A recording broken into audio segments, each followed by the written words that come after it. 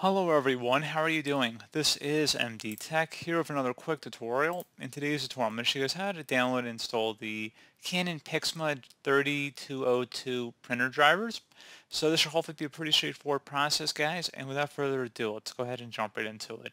So all you have to do is open up a web browser of your choice, doesn't matter to me, but you want to navigate over to Google and then just search for Canon printer drivers. Go ahead and select that. Go ahead over to Canon's website here and then you can either search for the Canon PIXMA 3202 in this list, or you can go down to printers and go ahead and left click on that button. Select the PIXMA option, and then you want to go select 3202. So go ahead and left click on that.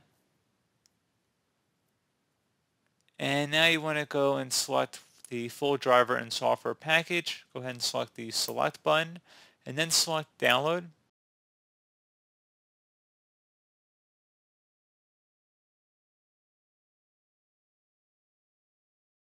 Go ahead and open up the setup file and select yes.